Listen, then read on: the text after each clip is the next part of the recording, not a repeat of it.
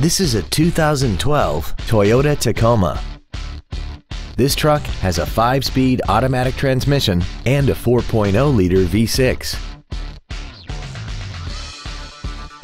Its top features include XM satellite radio, a double wishbone independent front suspension, traction control and stability control systems, and a tire pressure monitoring system.